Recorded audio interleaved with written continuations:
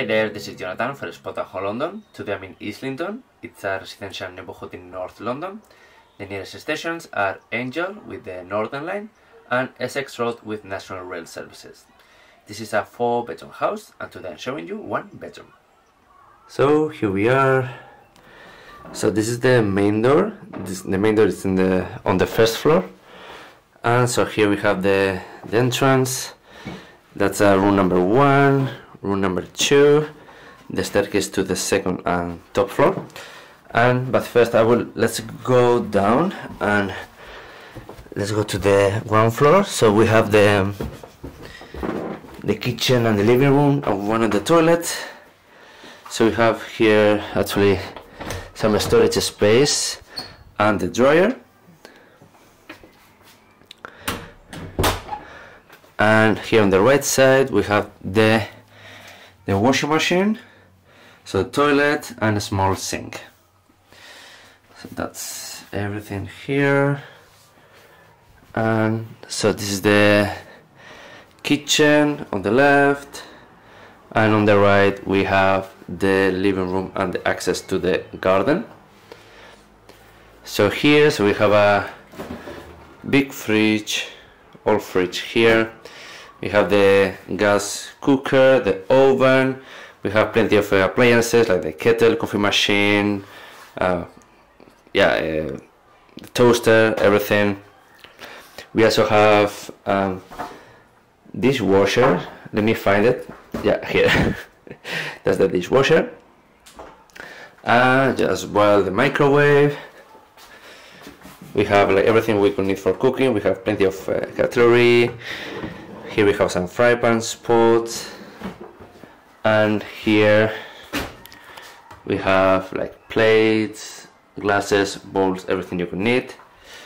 And it's nice we have this uh, aisle in the center like with a like a breakfast bar so it's nice to we also have the chair so it's nice to have a meal here like especially for breakfast. So that's the whole kitchen. And here in the living room. So first we have a actually that's the freezer. It's a freezer. And we have a big sofa with a coffee table a soft chair some shelves and the TV as well. So that's the living room. And from here we have access to the garden. So we have a table there. It's nice. We have the palm tree and many other trees it looks really nice. So that's the whole garden. And so let's go back inside. Now we have to go upstairs. So I already show you ground floor and first floor. From here we, you can also see the, the garden and so on the second floor you can have a better look from here as well the whole neighborhood on the second floor we have two more rooms, so room 3 and 4. And this is the one I'm showing you today.